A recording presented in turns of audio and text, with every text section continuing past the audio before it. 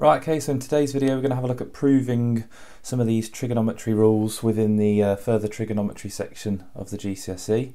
Uh, one thing I just want to make very clear though is that you should have a very good understanding already of how to use these rules before you go and try and learn these on how to actually prove them. All of these would be very unique exam questions if they were to come up in the exam, so it's very important that you know how to use these first. I do think that's a little bit contradictory though, that you have to learn how to use them before you actually know how they are created and made. Um, but this is going to really focus on actually looking at proving them. So it's very, very important that you know how to use them first. And I am going to have a bit of a um, idea here that you are going to have to have a good understanding of SOHCAHTOA and Pythagoras on some of these as well. Um, so if you don't, I would suggest that you go and practice your Pythagoras, your, your SOHCAHTOA, and obviously using these formulas before you actually look uh, any further at these. But let's have a look. We're going to prove the sine rule, the area of a triangle using sine, and the cosine rule. We're going to do them in that order. I think that's the order of difficulty really as well. I think the cosine rule is probably the hardest out of the three to prove. But let's get started. Okay, so first looking at the sine rule. Now I've got a triangle here and I'm going to label it up just like we would when we are normally using the sine rule. So I'm going to say that this little corner is big A and this is little a. I'm going to call the top one, just moving around clockwise, B and B, and I'm going to call the last one here big C and little c. Now what I'm going to do is I'm going to draw a line in for the height of the triangle perpendicular to the base. And if I do that, let's move slightly. And if I do do that, uh, what I'm, I'm going to get here is two right angled triangles. Okay, so this would form a right angle down at the bottom here. Now what I can do is I can label this height as a new line. I'm going to call it x. And what I'm going to do is I'm going to find an expression for x using the two right angled triangles. So if I start with the one on the left and we think of this angle here, angle A, I can find an expression for x using my normal SOHCAHTOA rules. So that line x is the opposite and we have the hypotenuse. So this is going to be my opposite. And we also have c here being the hypotenuse. There we go. So let's just draw that in. Hypotenuse, there we go. And when we have the opposite in the hypotenuse, we use sine, don't we? We use our SOH triangle if we like using formula triangles. So to find an expression for x, I would do O over H. Sine is O over H. So I can make the statement over here, I can say, okay, well, sine A equals O over H, O being the x, and H the hypotenuse being the c. Okay, so sine A is x over c. Now if I want to get an expression for x, I can times both sides by c at this point to get rid of this denominator. And what I end up with is my expression, which will be c sine a equals x. Okay, I'm going to do exactly the same for the other side of the triangle. I'm going to do it for the angle C now. So if we do the same thing, we can say sine C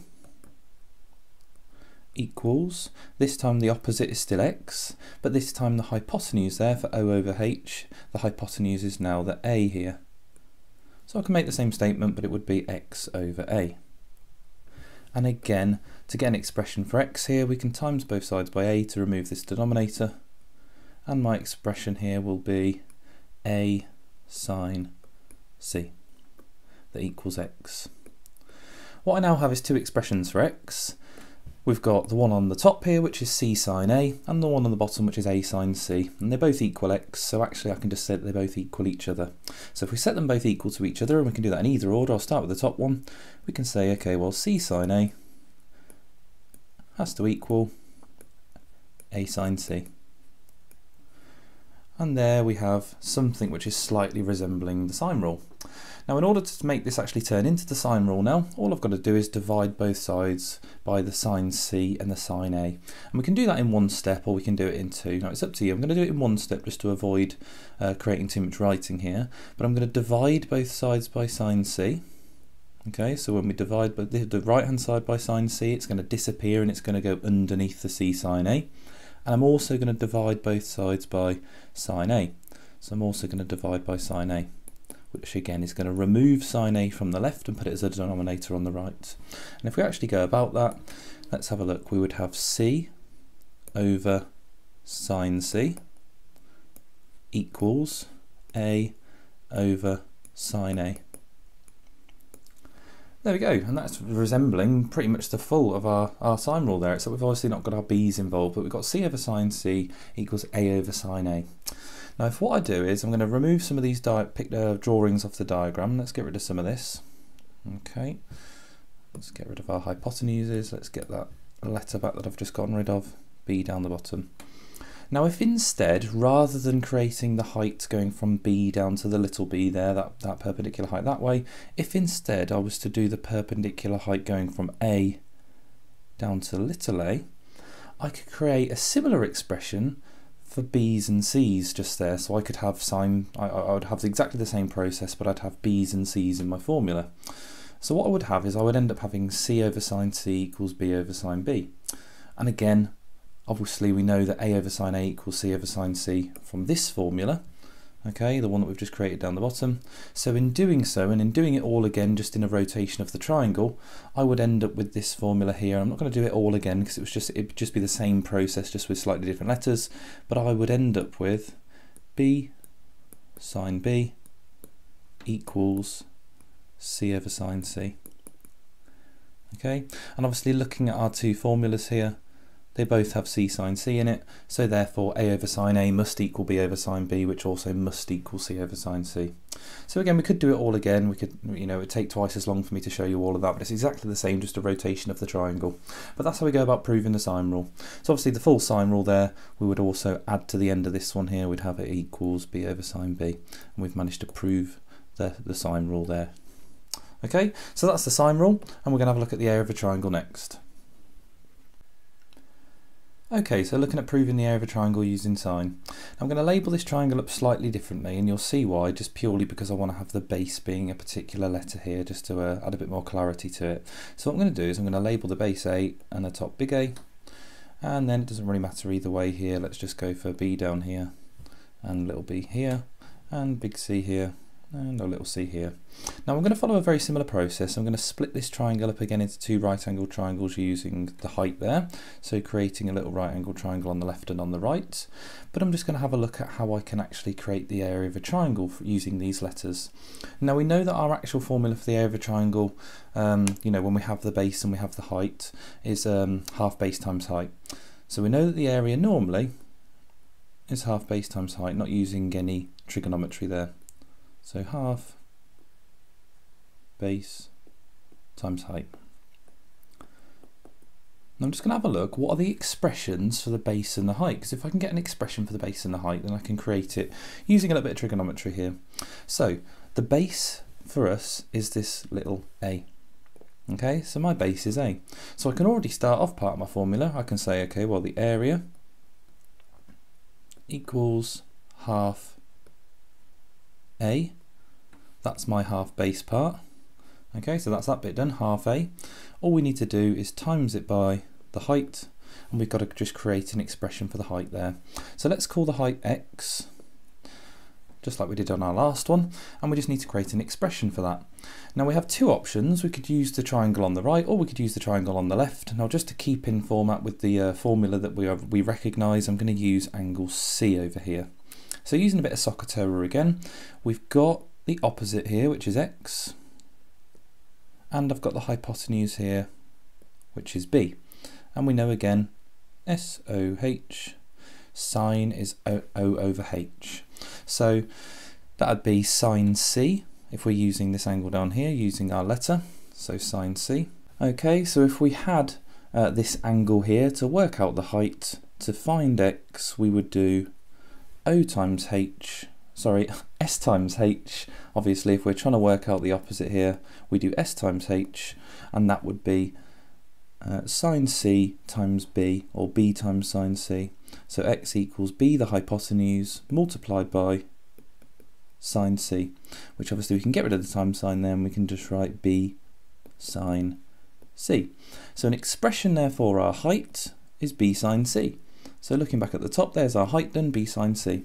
And if we put this all together, so if we slot our height back up into our formula here, so we've got half a for the base, and the height being my new expression here, which is b sine c. And then we can get rid of that time sign in the middle, so bringing that all down and simplifying this all down, we get a final area there of half a multiplied by B, sine C. There we go. And we could do any variation of those letters if we just move the triangle around or move the letters around. We could have half BC sine A, half AC sine B. But obviously this is the one that we recognise here for area. So we have area equals half AB sine C.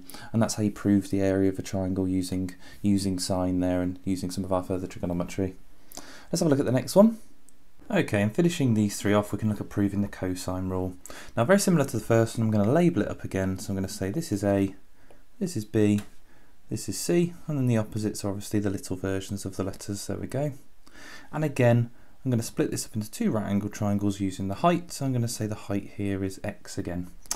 Now, the only thing that I'm going to have to do slightly differently this time is I'm also going to have a look at uh, an additional length here, and I'm going to go from A to the to this little cut-off point for the height here. Again, we could do it on the other side, but I'm going to on this way because it makes our formula more recognisable like the one we're used to seeing, but we could do it on either side. Now let's have a look. I've got two triangles here, left and right. Now if I look at um, some expressions that I can create, so if I have a look at this right triangle to start with, the one on the right here, okay, so I'm just going to label this the right triangle. Um, obviously because this, this height here makes a right angle down the bottom, so we've got two right angled triangles. Now in order to find an expression for A this time, okay, so let's have a look for this length here, I can actually say that I can use a bit of Pythagoras. So in order to find that A, I would need the two other sides using Pythagoras. Now I've got one of them, I've got x here as one of the shorter sides, but I don't have this one here. But I could find that out, okay, because the full length of the base is b, and I've labelled the little base over here y. So this base here of the right triangle, I could say is the full length b minus the length y. So I'm going to have that expression there as the length of the base, so b minus y. So using Pythagoras, I would square those two sides uh, in order to get a squared. So if I write that down, I would have to do x squared plus b minus y squared and that would give me a squared and that's a little expression there for how I would find a squared. Now I can expand that bracket out, okay, so that's obviously a double bracket, that b minus y. I'm going to expand it out in one step though, rather than writing it out. So b times b would give us b squared. We'd have b times the negative y, we'd have that twice, so we'd have minus 2by and then we'd have negative y times negative y which would give us y squared positive y squared and that equals a squared. There we go so expanding all that out. Uh, that's our little expression there for a squared. Uh, if we look at the left one now and see what we can get for that so let's label this over here the left triangle. Okay so that's this one here. I'm going to do exactly the same. Okay so I'm going to find this time a little expression for C. So I'll do exactly the same thing. This one's a little bit nicer because we do actually have uh, one of the shorter sides just as y this time, so not going to have that double bracket going on. But in order to get c squared, again I would do x here, the shorter side, and I'd use y here, the shorter side. So nice and easy, I would just do x squared plus y squared, and that would give me c squared. Okay, so I've used Pythagoras to find those two hypotenuses of those two right angled triangles that we've split it up into there. Now what I've got is an expression on the right here that I can rearrange that will allow me to sub it into this one on the left. So instead of writing this one as x squared plus y squared equals c squared, if I minus y squared from both sides, I get the expression x squared equals c squared minus y squared. And now I have an x squared in both. Okay, so if I replace the x squared here on the left, which I'm going to underline, with this expression here, okay, that's just going to remove the x's from this formula. Obviously we know in the cosine rule we don't have x's in our formula, do we? We just have a's, b's and c's. So let's get rid of the x squared on the left by subbing in this c squared minus y squared. So if I write that in, what do we have? We have c squared minus y squared, and then the rest of everything there, so plus b squared minus 2by plus y squared equals a squared. There we go. Almost there. Let's have a look if this can simplify at all. First thing that I've noticed here, let's see what colour is going to be best here. First thing is we've got a minus y squared and a plus y squared. So they're going to cancel each other out. So let's rewrite this with them gone. So we've got c squared plus b squared minus 2by equals a squared. There we go, and hopefully you're quite familiar with the cosine rule if you're watching this video. So you'll probably see that it's actually starting to look a little bit like the cosine rule. Now we've got a squared at the start on the right there equals c squared plus b squared minus 2by. Now the only thing that I need to get rid of here now is this y. Okay, and if I can find an expression for y, then I should be able to remove that. So let's have a look how we could create an expression for y. So our final step here, let's have a look. So y is obviously this length here and how could we find an expression for that? Now if we use the angle A, what lengths do I actually have? How could I find y? Now y there is adjacent to that angle and we have c already that we've been looking at, that um, the hypotenuse there. So using cos, oh, using cos CAH, we know that A, the adjacent, is C times A. Okay, we cross that out and it's C times A. Okay, so we know that A, the adjacent, which is what we're trying to find, the, the, the letter Y here, the adjacent equals C cos times the hypotenuse. Okay, so if we just plug these letters in here, A's the adjacent, which is Y, so Y equals the hypotenuse, which is C, so C times cos A. Okay, that's an expression for Y, C cos A. Let's rewrite that. C cos A. And that is how I would find uh, the length y there, the adjacent. I would do c times cos A, c being the hypotenuse there, c times cos A. Okay, so that's our expression there for y. Now all I need to do is replace the y in my formula here that we, we underlined a second ago, so this one here, with c cos a. So let's do that. Let's just get rid of the y and put this c cos a in.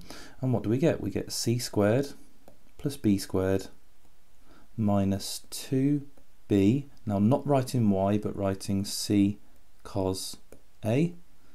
And that now equals a squared. There you go. And that is your cosine rule there. It's written back to front, isn't it? But I could always rewrite it. So let's put a squared at the start instead. So just rewriting it, we have a squared equals, and let's rearrange the c and b, just to keep it in alphabetical order, b squared plus c squared minus 2bc cos a. And there is your proof of the cosine rule. Definitely one of the more complicated ones there. It's uh, there's a lot of writing there. I appreciate that, but it is it definitely is one of the more complicated ones. Okay, but that is how you prove your sine rule, your area of a triangle using sine, and your cosine rule. So well done for sticking through that. Um, if you want to have a go, um, just have a quick look at this. Okay, all you have to do is draw yourself a blank triangle, see if you can prove any of them. Don't get too stressed about it, uh, out about it. If you can't, just keep having a look back, having a, having a re-watch over it, make some notes, and yeah, have a go, see what you get. Um, but I'm not going to go over it again. You can always rewind the video, um, have another look over them, make some nice notes on them, and that is um, those three for you. Okay, so that's the end of the video. Well done for getting through that. Please like, please comment, please subscribe, and I'll see you for one of the next ones.